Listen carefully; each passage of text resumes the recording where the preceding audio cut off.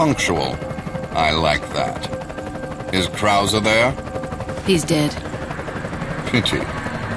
But after all, just another expendable grunt. Thanks to you, however, Umbrella's one step closer to its re-establishment. And once it is, there will be significant changes in our world.